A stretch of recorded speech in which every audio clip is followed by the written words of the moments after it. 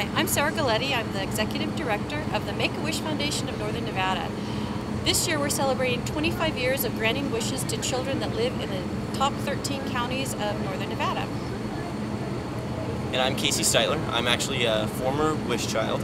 Uh, when I was 12 years old, I was diagnosed with an inoperable brain tumor, and I had to undergo a year's worth of chemotherapy and radiation therapy, and it was a really rough time for me and my family. And while I was going through that, I was actually lucky enough to be helped by the Make-A-Wish Foundation, and uh, they installed a batting cage in my front yard, which, uh, needless to say, was a lot of fun, but it meant a lot to me and my family uh, during a time when we, we really needed it.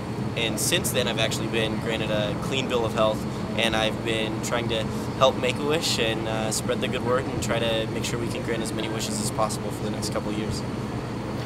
And how is the Ski Jump of Joy going to help Make a Wish? Um, Bobo's generously donates funds to the Make-A-Wish Foundation from this event. Um, this is the third year that we've been recipients from funds.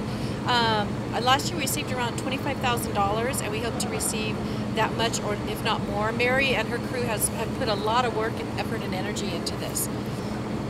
So it ought to be a successful event. This is a great event because a lot of different people from the community really come together to to help out Make a Wish. You've got the Warren Miller flicks, the Silver Legacy, Shane McConkey, and all the guys actually jumping off of the top of the Silver Legacy, really coming together and uh, not only raising a lot of money for the Make a Wish Foundation, but really getting the name out there and making sure that people know exactly what's going on and providing just a great event for people to come to and help out at the same time.